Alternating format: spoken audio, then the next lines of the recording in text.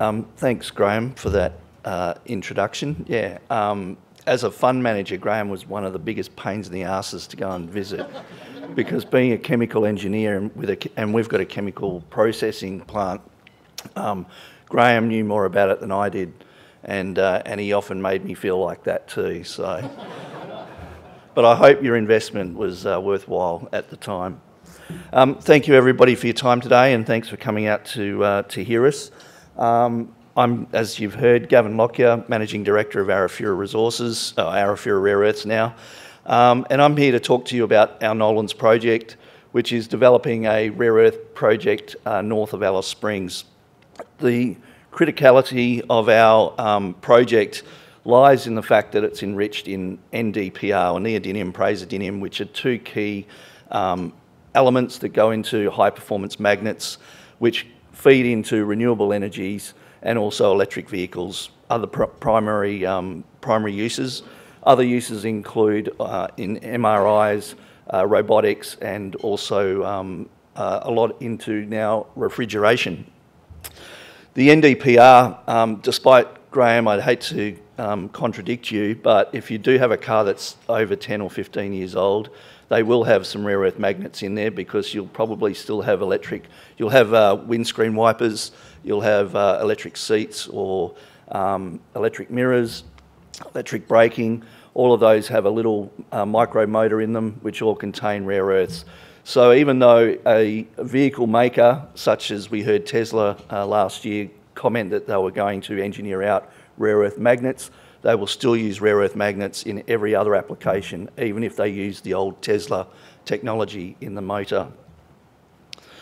The deposit itself, um, I haven't looked at this statement for a long time because we've moved so much further now, but uh, I thought being a mining club um, uh, presentation, you might be interested in the, uh, in the resource statement. It's open at depth. We've drilled over 90 kilometres of holes into this deposit, lots of it at 20 by 20 spacing. And we know that it, uh, this resource statement gives us 38 years life of mine, and that's just in vertical depth, 200 metres. We've drilled 400 metres deep and still been in mineralisation, so it's an extremely big deposit. Um, and we're also blessed that it, uh, it's a, a fluorapatite, so it's hosted in a phosphate ore, and we extract the phosphate as well as a, uh, as a byproduct to the, um, to the rare earths. From that statement, you can see that we're actually probably a phosphate resource with a rare earth byproduct. But in terms of revenue, the rare earths represent, or the ND, NdPr represents about 85% of our revenues. The location, 135 kilometres north of Alice Springs. Um, if you want to mine uh, somewhere uh, that typically people think are remote, this isn't remote. It's in an absolutely ideal location only 130 k's north of Alice, straight up the Stuart Highway, 10 kilometres inland to the west. We, um, you can see on that uh, on the on the box to the bottom left, uh, the red line there represents the Amadeus gas pipeline, which runs straight through our tenements, uh, and we'll be tapping in for uh, for power through the through the gas pipeline. That pipeline takes and has surplus gas. It takes gas from the Amadeus Basin in the south up to Darwin and it's recently been connected across the East Coast grid. The uh, railway line, obviously, Alice Springs, uh, a great logistics um, hub, so we'll be able to uh, bring materials in and out of, of Alice Springs and, and, truck it up to site relatively easily. And back in 2013, we um, embarked on a significant uh, water drilling exploration uh, program. Obviously, Central Australia, water is an extremely important asset and um, and obviously for a mining and processing operation we require a fair fair fair amount of water. So we uh, undertook a, a, program. It cost us about $13 million, and we identified a significant new water resource that nobody in Australia had ever discovered before.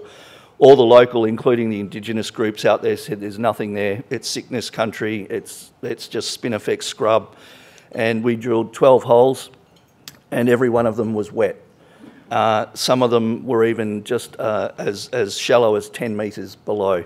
So uh, significant water resource, and that's represented on that chart by those green, uh, green dots and green lines. It's about 20 kilometres to the south of the project. Uh, this was a picture taken earlier this year. As Graham mentioned, uh, we, we undertook a significant cap raising at the end of last year and um, had enough confidence to start construction. The view was to uh, build the uh, construction camp uh, and, and the water uh, pipeline as well as access roads so that we could be ready when the market is ready for the to get the project financing done uh, that we would go straight into construction. So that's a, um, a, shot as of a couple of weeks ago. Uh, 200 person camp, uh, fully serviced by ESS out of um, Alice Springs. Unlike a lot of uh, other rare earth projects, we're actually going all the way through to an oxide. For those of you that would be familiar with Lynas, uh, they currently mine and beneficiate in Western Australia. They then export that beneficiated material to Malaysia and uh, produce a rare earth oxide, a separated NdPr product. We're doing the same, but we're doing it all at a single site. And this has been really well received by particularly our, uh, our off-takers because uh, there is some radioactivity associated with these deposits. And by leaving all our mining waste at the site from where they came from, not moving it across jurisdictions, is seen as a really, uh, a really positive thing, particularly when the product we're producing ultimately goes into green, clean energy technologies. Um, the, the customer would like to, the customer is expecting high standards of ESG. We uh, have all our uh, NT and federal government approvals in place, including the Indigenous Land Use Agreement, and, uh, and our mining licences are all granted. So when the funding is available, we're ready to go. This is the, the flow sheet that Graham is very familiar with and uh, often grilled me on. I won't uh, bore you to tears with it. I'm not a chemical engineer. But basically, uh, the front end of it is uh, mining, which is um, just grinding and flotation. That represents about 10% to 15% of our capex and opex. All the heavy lifting is done post flotation. We have a phosphate circuit at the front end which extracts the phosphate and cleans up the rare earth stream. The rare earth stream then goes into a traditional rare earth baking process. However, unlike other rare earth um, producers such as Lynas and, and the Chinese, uh, because we're cleaning up the, uh, the rare earths before they go into the acid bake, we're able to do that at much lower temperatures. Uh, I think Lynas cracked theirs at about 850 degrees Celsius in some very big 80 metre kilns. Uh, we can do ours at 200 degrees Celsius in just some big paddle mixers, a bit like a big mix master that you make a cake in. So much, uh, much uh, simpler process, and hopefully, uh, when we go to commission, then uh, we'll have a, a, few less headaches um, along the way. The, uh, that flow sheet has been extensively piloted at scale. Um, we've done completed that work back in 2018 and uh, that was uh, the, the feed into our feasibility study, which was um, uh, published in uh, February 2019. The hydromet plant, if a uh, couple of tens of millions of dollars of engineering gets you some pretty pictures, um, you can uh, go onto our website where this presentation will be lodged, and if you scan that QR code, you actually get a quite detailed fly through of the hydromet plant. Um, it's pretty impressive. Uh, it's uh, it's a, a, fairly significant uh, building, and as I said, that's that's probably about 60, 70 percent of our operating cost and our capital cost. The key for us is around the funding at the moment. Uh, all our focus is on that. The, as I said, the engineering, the metallurgy, the geology has all been locked away. The project economics were put out in um, uh, February uh, 2019, as I said, with a DFS. Following uh, the uh, issues in the Ukraine and obviously all the issues in labour and, uh, and other supply um, trends that the world was experiencing, we, we put a project update out in November 22, so about a year ago. Uh, we took a 40% hit in capex at that time we think we've uh, captured the majority of the uh, of the uh, of the inputs, and um, hopefully we don't have any nasty surprises. We've been uh, undertaking a detailed engineering uh, process with Hatch. We've also had uh, Monadelphous, a constructor, working with us as an early contractor, and at, at, this point in time, uh, I'm pleased to say there's no nasty surprises in, in CapEx or OpEx. Uh, that um, we wouldn't expect.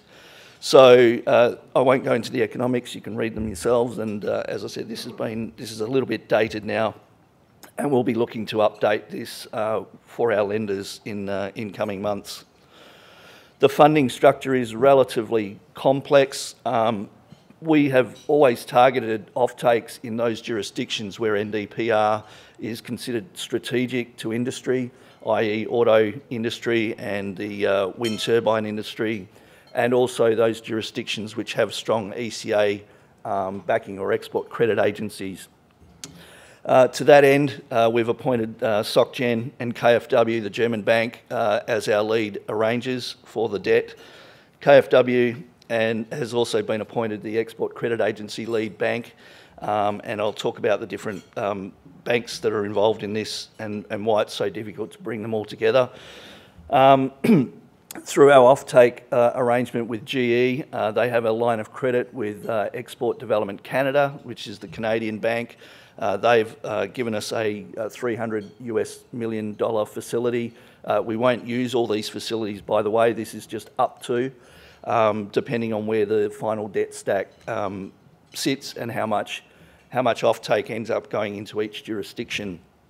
Similarly, Euler Hermes through uh, with KfW, uh, the German side of things, we've got a uh, offtake arrangement with Siemens Gamesa, uh, which is a, a, wind turbine manufacturer in uh, in Europe, uh, and that facility is for up to 600 million US dollars as well in lending.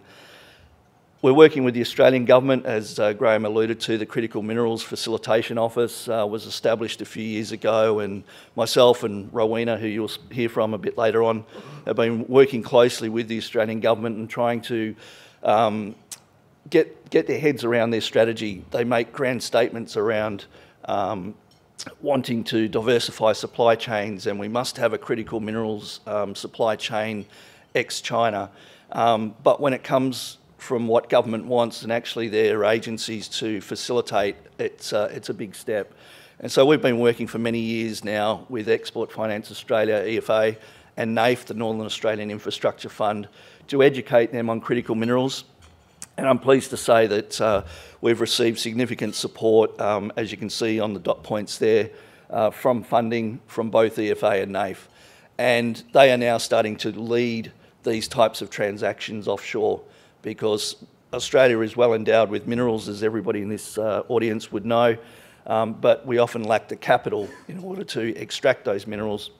However, offshore has strategic industries that require these minerals, and they also have large, uh, large, uh, large pockets. So it's about trying to bring, and this is what the Australian government's been working with us and others on, bringing together industries from both sides of, of um, both, both uh, sides of, the, uh, of politics and also of countries, trying to diversify these supply chains.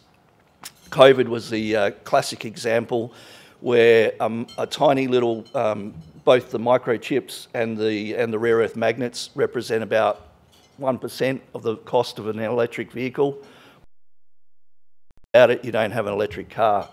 And what Volkswagen discovered through COVID, when the Chinese magnet manufacturers shut down due to COVID, um, and yet COVID hadn't really hit Europe, they couldn't produce their cars. There was about 60,000 vehicles sitting in a paddock in Wolfsburg in Germany that they couldn't sell because they couldn't get microchips or rare earth magnets. I have a, uh, a friend back in Perth that uh, actually ordered a, uh, a BMW during this time the BMW was delivered and it doesn't have electric seats because they couldn't get the magnets. Um, so COVID was just really something that was highlighting something that was always there, that China controls this market and the rest of the world has not been doing enough to develop it. And that's where projects like ours and also Rowena's that you'll hear about um, a bit later on uh, are extremely important to get that up and running and to make sure that uh, we are feeding into a massive um, growing demand.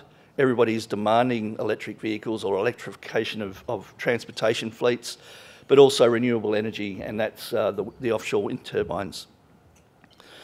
Just finally, this is my last slide. Um, I've, I've, mentioned some of our off-takes, and this is where we're currently selling. Uh, the lenders have indicated they would like about 85% of our product tied up with offtake. Uh, we're currently sitting at about uh, 53%. Uh, we have a non-binding agreement still with uh, GE at the moment, which we hope will turn into a binding agreement shortly. That will take us up to about 63% of our 85 that we need for the financiers. And as I said before, we're, we're looking to diversify our offtake or our sales contracts into those jurisdictions that provide us uh, both with a diversity in geographical locations, diversity in lending, um, lending opportunities, uh, but also uh, diversity from, uh, in terms of uh, credit risk from individual customers.